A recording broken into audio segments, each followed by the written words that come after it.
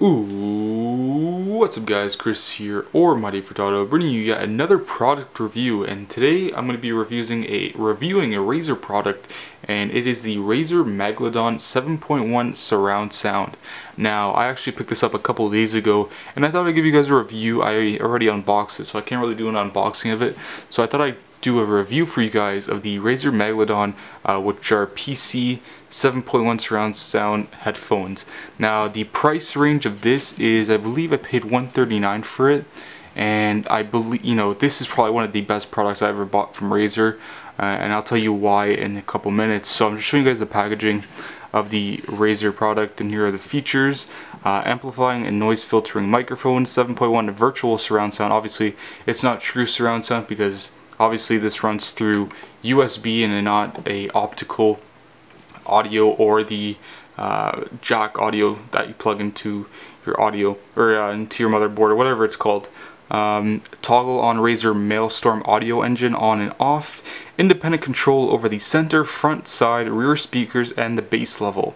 The control wheel allows for on-the-fly adjustments of every function. Convenient access to mute the microphone. Mic sends controlled Mic sensitivity, I guess, controls the amount of background noise filtered out. Mic levels controls the volume the microphone outputs to teammates. So obviously this is everything, Razer Maelstrom audio engine, onboard audio processing. I do believe this has an onboard uh, sound card in it.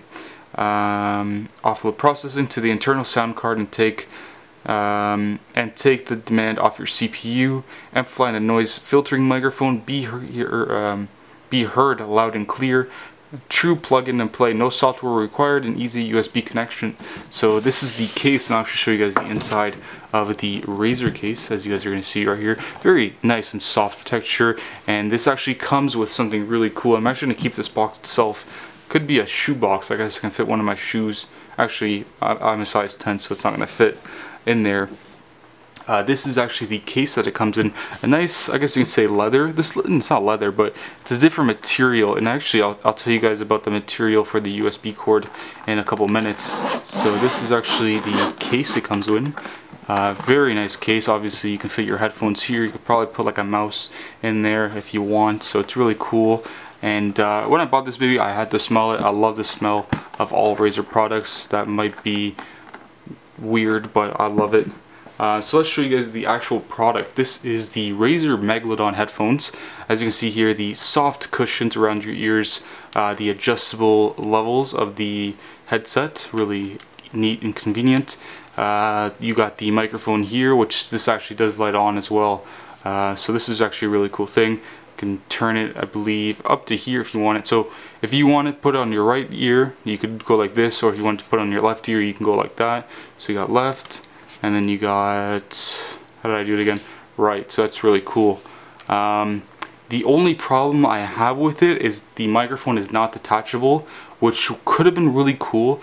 Uh, I could have used this for probably listening to just music and really not have this on which kind of does uh, suck but hopefully if Razer decides to release another 7.1 surround sound headset in the near future, that could be a possible option where they uh, allow you to detach the microphone, which is really cool because even though that you can't really listen to this um, with your iPod or whatever, because since this does use USB, it would have been cool to at least uh, allow you to actually take this off and then just use the headset to either listen to music, watch movies, TV shows, or even play the games without obviously communicating with your teammates. Um, so let's actually move to the next thing, which is, I guess you can say, the onboard kind of mixer. Uh, now I'll actually try to plug it in for you guys to show you guys how uh, cool it is. So let me, give me a second here, my computer is right here. So I will plug it in. Uh, I just gotta untangle it. Of course I have to get everything tangled during the review. Um, so I'm to actually have to move the camera just a little bit um, because the rope, or I wouldn't say rope, but the USB is not uh, big enough. So as you can see here, this is the, I guess you can say, the onboard mixer. I'm trying to see if this is clear for you guys. Just give me a sec here. Uh, put it to manual focus and then I'll focus in there. Uh, this is the mixer and right here is obviously it says Maelstrom. So this is the main sound, obviously the adjustable, the right is obviously the max, and then you can lower it. Another, another cool feature is once you press this button you can change the different speaker. So this is obviously the front or the middle speaker it's not the middle the front. Uh, and then you can change it to the left and right speaker the rear speakers and then the back speakers and as well as the bass. Obviously I have the bass all the way to the max because I need to have max bass um, another cool thing is actually the mic options here you got your mic mute where you can mute the mic uh, if you obviously don't want to communicate with your teammates uh, you got mic sensitivity so this is actually a really cool feature. It kind of sensitive. It's really sensitive the microphone of the Razer Megalodon, so you can put it high if you're in a like a quiet ass room, or you can obviously put it low. That's where I kind of have it because I do have a lot of things going on in my room, uh, TV, and then you have this beast of a computer that's actually pretty loud. And then you also have your mic level. So if you want to increase it, if you're recording or you're talking to your teammates, you obviously can raise it. Uh, I have it at middle now I did test this out with a couple games. Uh, I tested it out with Battlefield 3 and it brought orgasm to my ears which was really fucking amazing. Um, I also tried this out with Counter-Strike because I do play competitive, or I used to play competitive Counter-Strike, uh, Counter-Strike 1.6 and Counter-Strike Source and uh, I tried this and I could hear everything. I could hear like the, the enemies down the hall. It was amazing. Uh, so it is really cool. Uh, there isn't really much else to say about it, but the price range of this is about 139 to 140 dollars uh, Canadian dollars. Uh, and when I bought this, uh, the guy who actually was selling me this, or who me and my friend actually were talking to, he's a really cool guy. He's a really cool gamer, and he um, talked a lot, a lot about different headphones, and he actually uses, I believe, it was, I'm not too sure if it was the same one or it was another uh, Razer headset. But uh, he's, he highly suggested that I get the Razer Megalodon and actually move back towards here so you guys can actually see it.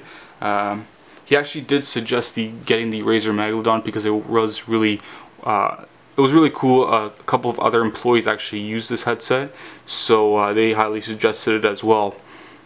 Uh, there's one downside that I have to say about the Razer Megadon, Megalodon 7.1 is that while I was actually playing Bioshock 2 for the PC, I actually kind of had a problem with it. I'm not too sure if it was the game itself or was the headphones, but uh, the, the problem that I had is that I obviously had the mixer kind of halfway full, maybe around, and my Blackberry had to go off, maybe around two to three dots away from max, and um, when I was playing Bioshock 2, the problem that I had was the audio would stop. Like I couldn't hear anything. Like I had this obviously in my ears, and I couldn't hear anything in the game when I was shooting. I couldn't hear absolutely anything. So I actually uh, read on a couple of forums and threads to mix with the levels of the uh, mixer, whatever you guys want to call this, and unplug it, and then plug it back in and make sure that whenever you plug this or wherever you plug the Megalodon 7.1 it's not really connected with another USB so I did that and actually switch it from the back where I usually plug in all my other stuff my keyboard my mouse and then all the other things. Uh, but and now I decided to plug it into the front of my computer and I have yet to receive a problem with that. So uh, you know hopefully it isn't the headphones and hopefully you know whatever they told me to fix it was it. So you know that's really cool but other than that, you know, if you guys are looking for a brand new spanking headphones and if you have the money lying around, $140 for these headphones are absolutely truly worth it and I, I think that these are probably the best headphones out there that you can get. I actually know a couple live streamers on Twitch TV that actually use these uh, these headphones and they say that it's truly amazing as well and you know if you're a big competitive player I know that the um, StarCraft 2 players actually use the Razer headset, which is the StarCraft 2, the Razer Banshees, and they say those are good as well. But uh, you know, if you're somebody who live streams, and if you're somebody who plays competitively a lot, uh, I highly recommend the the Razer Megalodon 7.1 virtual surround sound because uh, you know for $140 you're gonna get something that's really great audio quality. The microphone is is really good as well. I did try using it to record some commentaries. Obviously, it's not the best as a Yeti microphone, a Snowball Yeti microphone, because you're comparing a $100 microphone that's built for recording clear and crisp audio to you know obviously a Razer product which its main focus was to obviously uh, focus on the audio settings obviously with the 7.1 and then obviously bring the microphone into it too. And not obviously to downgrade the microphone quality but obviously to keep some good quality in it. But you know, if you're somebody who live streams and, like I said, plays games competitively and occasionally does some gameplay commentaries, I highly recommend getting these uh, Razer Megalodon 7.1 virtual surround sound headphones for $140. These are the bang for the buck, and I truly recommend these headphones to anybody. But anyways guys, this is Chris or Mighty Furtado. If you liked my review, please give it a thumbs up and leave a comment if you do want a pair of these or if you do want a pair of another Razer product headphones. But anyways guys, this is Chris or Mighty Furtado. I'll see you guys for the next review. Peace out. See you later. Stay safe.